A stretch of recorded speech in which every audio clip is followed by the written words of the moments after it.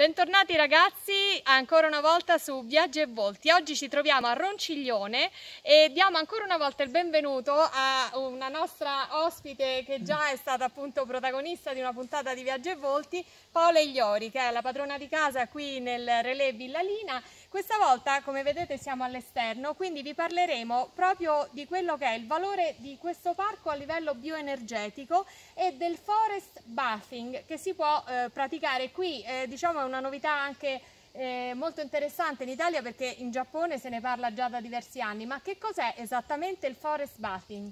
Guarda, questo è un po' un miscuglio di forest bathing e terapia con le piante, studiata da Marco Nieri, che è uno scienziato che ha misurato con un'antenna molto innovativa che si chiama Lecker le emanazioni benefiche, benefiche da piante monumentali o anche dall'allineamento di piante tra di loro. Quindi ha individuato in questo giardino, che come vedete c'è tantissime piante centenarie, ehm, questi 10 punti di emanazioni terapeutiche, terapeutiche dove eh, eh, mh, queste piante sono, l'emanazione viene ingigantita da queste acque profonde e, e rocce vulcaniche che ci sono.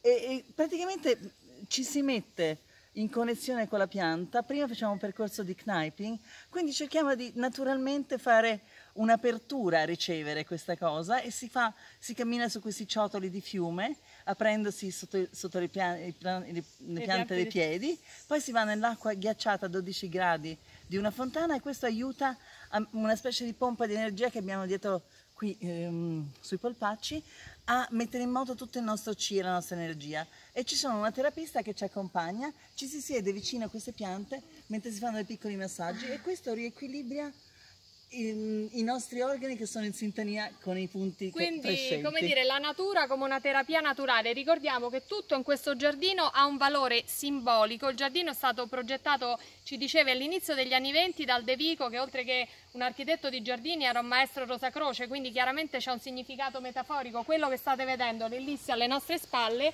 e ecco abbiamo anche la simbologia del serpente, quindi l'idea dell'infinito e della rigenerazione. Ci dicevi anche che personaggi illustri hanno come dire, sostato in questa foresta, eh, ricordiamo D'Annunzio, ricordiamo Trilussa o anche per arrivare a tempi più vicini a noi Bansky, Andy Warhol e Jean-Michel Basquiat. E Michel Basquiat. E, senti, ma come mai mh, eh, queste piante sono state abbinate ognuna di loro a un, eh, un organo del nostro corpo? Perché lui ha misurato l'emanazione e quando l'emanazione eh, della pianta è, è, è va in sintonia con quella dell'organo, equilibra l'organo. Quindi praticamente a quel punto, dopo che ti sei aperta facendo questa cosa sui ciotoli, nell'acqua, quando ti metti lì e ti siedi, il forest bathing è che fai semplicemente uno scambio con questa pianta. Poi ricordiamolo, e... ci sono anche le erbe che vengono lavorate, non so, la calendula, la camomilla, lavorate qui proprio in questa sede e che danno poi adito a tisane, a prodotti di... Sì, anche ehm, a, a, una piccola farmacia verde. naturale, quindi tutto di cosmesi naturale. Poi cibo naturale.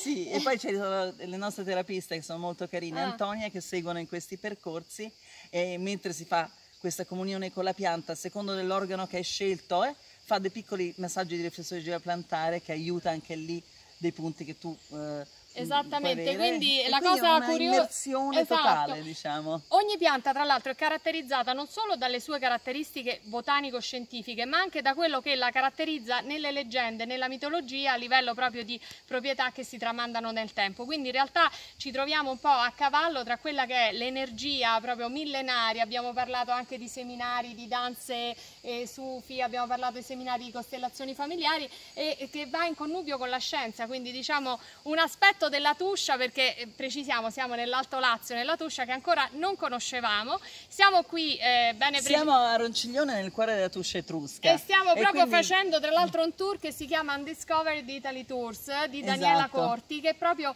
mira a come dire, valorizzare queste zone dell'Italia, non solo la Tuscia, non tanto conosciute. Non tanto conosciute ma mh, potenzialmente veramente ricche e interessanti dal punto di vista sia storico sia naturalistico. L'editore dei Lonely Planet ha detto che il secondo posto più intatto al mondo, perché ha tradizioni millenarie intatte, pur essendo a 40 mm, minuti da Roma. E magari eh. noi romani non la conosciamo, poi scopriamo che i Fontisten dell'Austria vengono qui a fare le feste. Nel Grace Jones, ricordate la cantante, era qui qualche tempo fa. Il compleanno per... di... Eh. Perché noi alla fine con questo Natural Relay facciamo sia delle grandi eh, feste, con, mm, diciamo matrimoni, dei grandi eventi, che anche dei piccoli percorsi disintossicanti che uno può fare per una settimana, oppure abbiamo queste quattro case con ognuna quindi, la sua piscina. Beh, diciamo Possiamo comunque, fare cose molto diverse. Come diciamo. ci dicevi, la natura ha già tutto, quindi tante volte noi andiamo a cercare nella medicina, nell'analisi, giustissimo ovviamente la scienza per carità è intoccabile, però in realtà dovremmo sempre prima provare